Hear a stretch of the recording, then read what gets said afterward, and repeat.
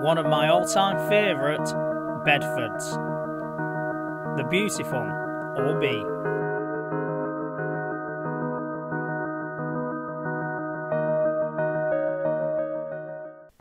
The Bedford OB was a Buzz chassis manufactured by Bedford. It was a successor to the Bedford WTB and had a wheelbase of 14 feet 6 inches and was a semi forward control model designed to carry between 26 and 29 passengers.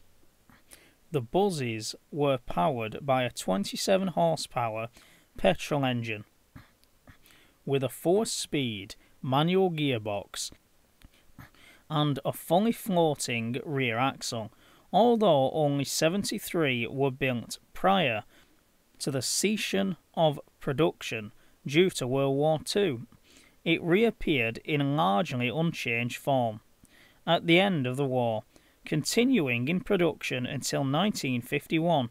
A total of 12,766 were produced, making it one of the most popular buses of its type ever.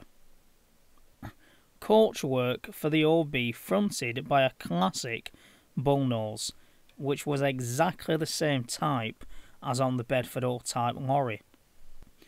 Geared to reach speeds of at least 40 miles per hour or 64 kilometers an hour, which was fast for its day, the OB is remembered by many for its characteristic gearbox whine.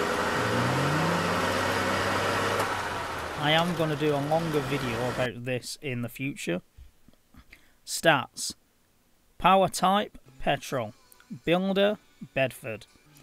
Build dates 1939 to 1951. Total built 12,766. Seating capacity 29.